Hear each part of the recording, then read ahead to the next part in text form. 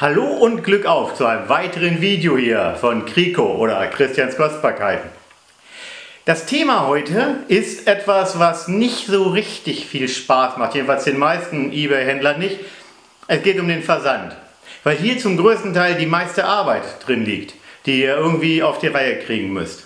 Deshalb möchte ich bei diesem Video mal beleuchten, wo ihr überhaupt darauf achten müsst beim Versand, beim Festlegen der Versandkosten, die ihr in euren Auktionen reinschreiben müsst und natürlich, was ihr tun müsst, wenn ihr einen, ich nenne mal so, einen Sonderversand habt. Ne? Weil man nicht überall für jede Art und Weise die entsprechenden Kartonagen zur Verfügung hat. Wie gesagt, das Thema Versandkosten. Ihr müsst es am Anfang eurer Auktion festlegen, wie viel ihr dafür nehmen wollt, wenn ihr irgendwelche Artikel versenden wollt. Und dafür müsst ihr euch vorher Gedanken machen, was sowas ungefähr kosten kann.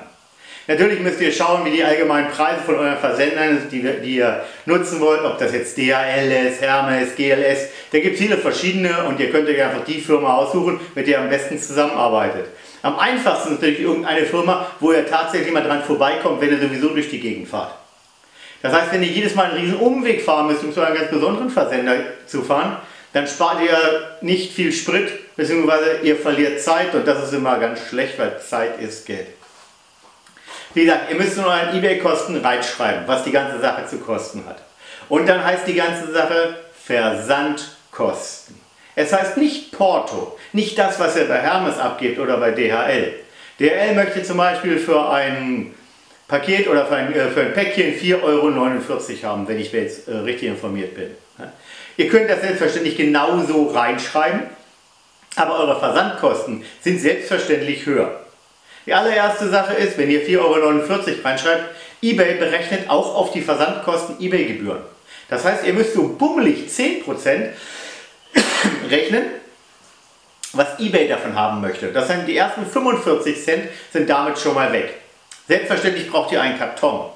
Jetzt könnt ihr sagen, ich habe noch was, was ich paar alte Kartons, die ich normalerweise für sowas benutze. Aber irgendwann kommt ja ein Punkt, da müsst ihr diese Kartons kaufen. Und je nach Größe, das geht vielleicht mit 20, 25 Cent los, wenn ihr aber 100 Stück kauft, könnt ihr natürlich auch bis zu einem Euro, und wenn es richtig große Kartons sind, natürlich auch noch viel mehr Geld dafür ausgeben. Ne? Auch das sind natürlich Versandkosten. Ne? Dann ja gut, wir wollen nicht über Klebeband reden und Verpackungsmaterial, so ein Kram. Ne? Aber die Fahrt zur Post ist auf jeden Fall ein Zeitfaktor und auch ein Benzinfaktor. Weil die Kunden erwarten, wenn ihr was verkauft, dass es möglichst schnell natürlich auf die Reise geht. Das heißt, dass ihr manchmal auch für ein kleines Päckchen, wo ihr nur ein oder zwei Euro dran verdient, noch zur Post fahren müsst. Das müsst ihr alles mit im Hinterkopf behalten. Es gibt auch immer wieder Leute, die schreiben euch an, warum nehmt ihr, was weiß ich, 5 Euro Versandkosten für ein Päckchen, wenn es doch für 4,49 Euro zu versenden ist. Ja, weil diese Kosten einfach entstehen. Das sind eure Versandkosten. Ein wichtiger Punkt. Die nächste Sache ist, wir verpacken die Sachen natürlich meistens in Kartons, um es zu verschicken. Das geht bis zu einer bestimmten Größe ganz gut, da hat man auch mal Kartons. Ich lasse mir auch immer von meinen ganzen Bekannten und so weiter Kartons noch mitgeben, die sie irgendwie über haben. Aber irgendwann kommt man auch mal an Größen, da hat man einfach kein Karton einfach so. Und man kauft ja auch nicht ständig Fernseher und Fernsehkartons sind ja mittlerweile auch noch ganz flach, dass man solche riesigen Kartons hat. Das bedeutet, man muss sich einen entsprechenden Karton basteln.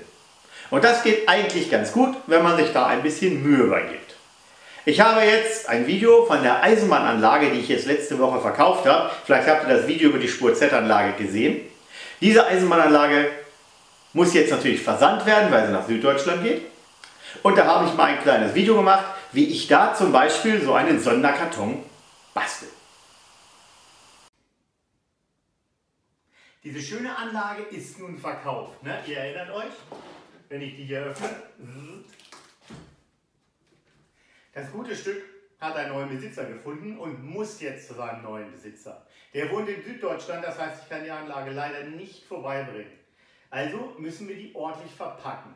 Und jetzt will ich euch mal ein paar Sachen zeigen, worauf ich achte, beziehungsweise überhaupt die ganze Sache ist. Das wird jetzt eine sehr komplexe Sache vom Verpacken, weil sie natürlich sehr groß ist und ich so einen Pappkarton gar nicht habe. Der Karton ist so ziemlich, also die Kiste ist so ungefähr 1,19 Meter lang.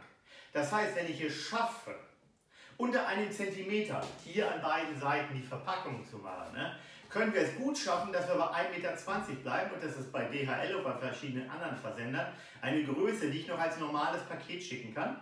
Und das würde bedeuten, dass die reinen Versandkosten sich dann auf ungefähr 10 Euro belaufen würden. Ne? Wenn ich über einen Zentimeter hinausgehe, und die sind normalerweise da schon kleinlich, ne, muss ich auf jeden Fall 20 Euro Sperrgutzuschlag bezahlen. Also wenn ich jetzt versuche, die ganze Anlage so kompakt einzupacken, dass das funktioniert. Für die Auktion habe ich das natürlich eingepreist, dass es eventuell nicht klappen könnte. Dementsprechend habe ich natürlich die Versandkosten angepasst, weil da kann man sich nicht drauf verlassen und ihr könnt natürlich nicht die Sachen verpacken und ständig bei den Versandkosten drauflegen. Ne? Also, das werden wir jetzt einfach mal ausprobieren, ob wir das hinbekommen, dass die Maße danach noch stimmen.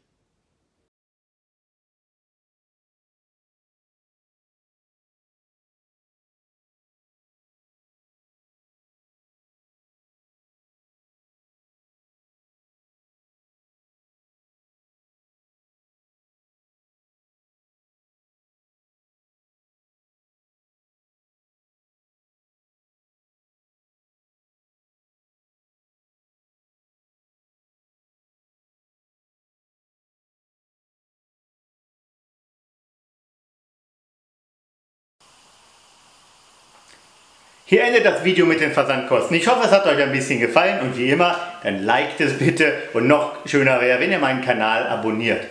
Und nächste Woche versuche ich auch mal wieder ein Video zu machen.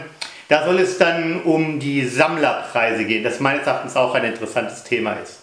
Also dann bis nächste Woche und ich hoffe, ihr verpasst